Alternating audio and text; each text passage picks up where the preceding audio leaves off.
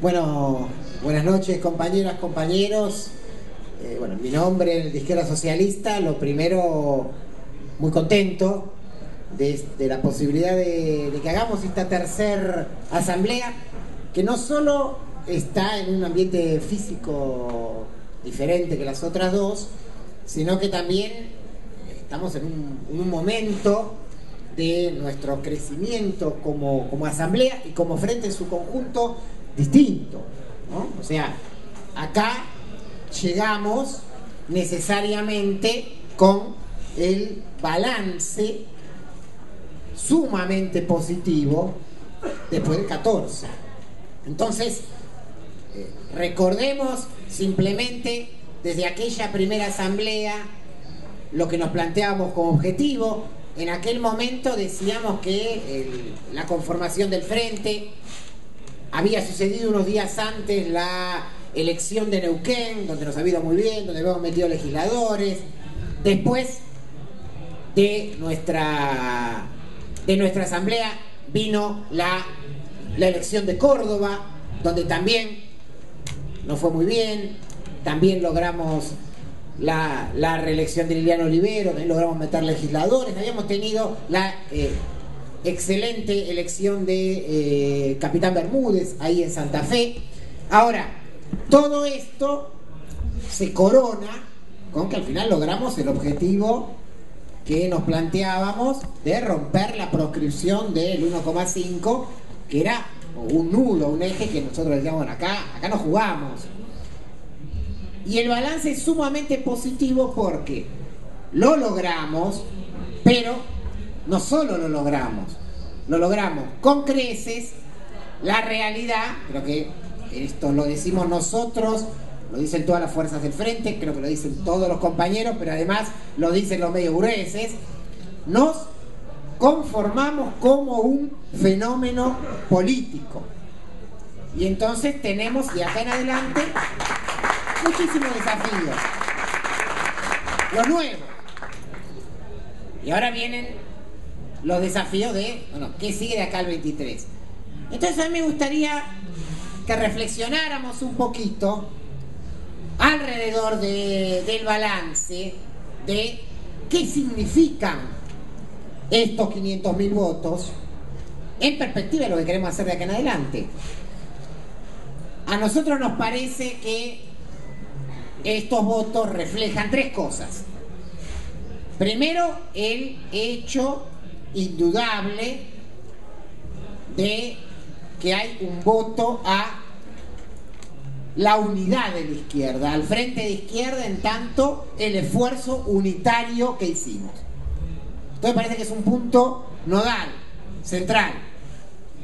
Obviamente también hay un voto que se mezcla con el primero, por supuesto, no son carriles separados, a el hecho de que la izquierda ha estado, está y estará, y muchos de los compañeros, compañeros lo saben, en todas las luchas, en el nuevo sindicalismo que aparece en el movimiento obrero, en las luchas estudiantiles, en, en el movimiento de derechos humanos, o sea, a esa expresión histórica que nosotros durante años vinimos abonando y que inclusive en momentos anteriores, cuando no existía la unidad de la izquierda, nosotros siempre lo decíamos, ojo, si sumamos los pedacitos, no es marginal lo que tenemos. Pero claro, bueno, estamos divididos.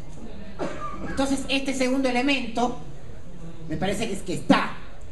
Y el tercero, sobre el que me quiero detener un poquito, es que, bueno, obviamente, todos lo sabemos, todos lo podemos palpar, hubo también una franja de, llamémoslo así, voto democrático, voto contra la proscripción. Ahora, es importante reflexionar esto, porque no es simplemente un voto democrático y punto, porque la gran pregunta es por qué ese voto democrático se expresó con nosotros y no con otras fuerzas.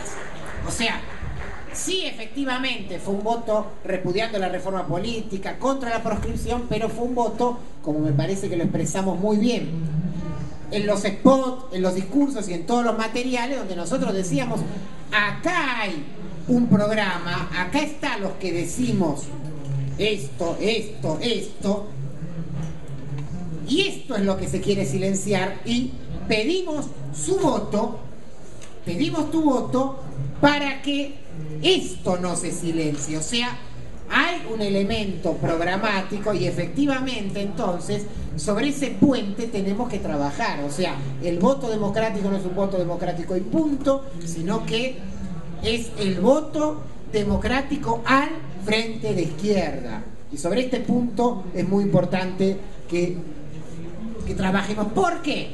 Porque ahora se abre la discusión de acá el 23 y en la discusión de acá al 23, todos lo sabemos, hay una pelea para retener los 520 mil votos, en especial obviamente esta última franja, pero también, digamos, no podemos ser autistas, hay una pelea por el conjunto de la clase trabajadora, de los jóvenes, incluyendo gente que votó a otras expresiones. Entonces,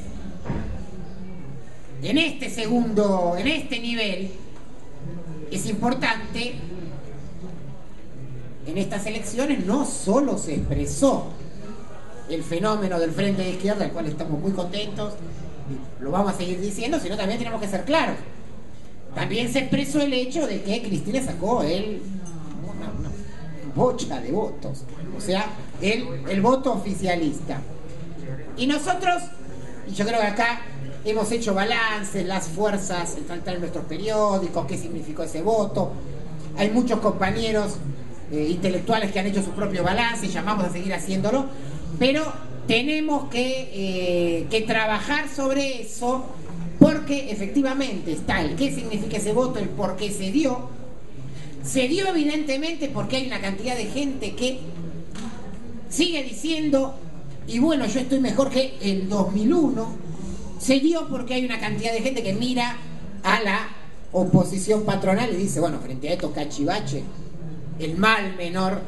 Entonces, conociendo esto y sabiendo que tenemos que debatir con, que no nos resignamos a no debatir con el kirchnerismo, se abre una etapa donde tenemos que discutir tanto qué significa ese, ese voto, sino a quién fortaleció. Y entonces en lo que se viene es poder conversar, dialogar con los compañeros.